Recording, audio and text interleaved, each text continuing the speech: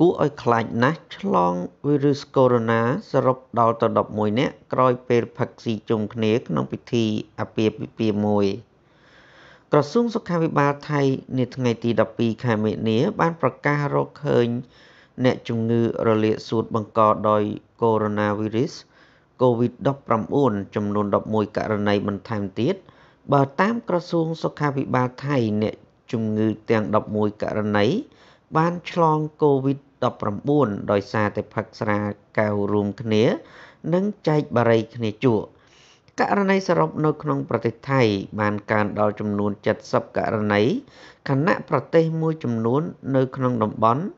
បានរកឃើញករណីឆ្លងជាបន្តបន្ទាប់ក្រសួងសុខាភិបាលថៃនាថ្ងៃទី12ខែមិនិនាបានឲ្យដឹងថា ក្នុងចំណោមជនជាតិថៃចំនួន15នាក់ ដែលជាមិត្តភ័ក្តិនឹងគ្នាមនុស្សចំនួន 11 នាក់ត្រូវបានរកឃើញថាមានផ្ទុក COVID-19 ក្នុងចំណោមអ្នកទាំង 15 នាក់នេះ មានអ្នកខ្លះបានជួបជាមួយភ្ញៀវមកពីហុងកុងនាថ្ងៃទី 21 ខែកុម្ភៈរហូតដល់ថ្ងៃទី 25 ខែកុម្ភៈ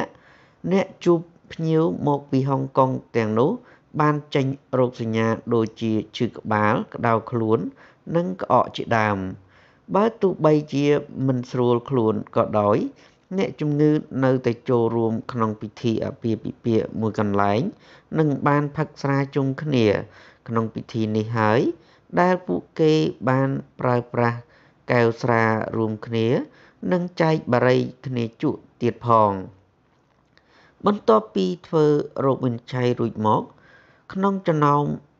នុស្ស15នាក់មាន11នាក់ផ្ទុក COVID-19 ចំណែក4នាក់ទៀតមិនមានផ្ទុកជំងឺនេះឡើយ ព្រោះមិនបានផឹកស្រា និងជក់បារីនេះបើតាមការចុះផ្សាយរបស់សារព័ត៌មាន The Nation ចំណែកមនុស្សផ្សេងទៀតដែលចូលរួមក្នុងអាពាហ៍ពិពាហ៍នេះក៏ត្រូវបានគេយកសំណាកទៅពិនិត្យផងដែរ ប៉ុន្តែរកឃើញអវិជ្ជមាន សរុបករណី COVID-19 ទាំងអស់នៅថៃ មានករណីសរុប70នាក់អ្នកស្លាប់មួយករណីនិងអ្នកជាសះស្បើយមាន35ករណីសូមបញ្ជាក់ថាមួយរយៈចុងក្រោយនេះ ប្រទេសមួយចំនួន នៅក្នុងតំបន់អាស៊ីអាគ្នេយ៍បានរកឃើញករណីឆ្លង COVID-19 ជាបន្តបន្ទាប់ ក្នុងប្រទេសទាំងនោះមានដូចជាវៀតណាម ហ្វីលីពីន ឥណ្ឌូនេស៊ី កម្ពុជា ម៉ាឡេស៊ី ប្រ៊ុយណេ ជាដើម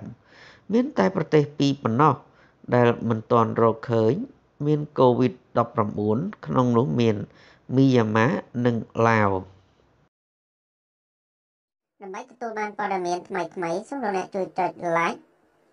ចុច subscribe ចុចដល់រូបបណ្ដឹង រួចយកពាក្យថា all សូម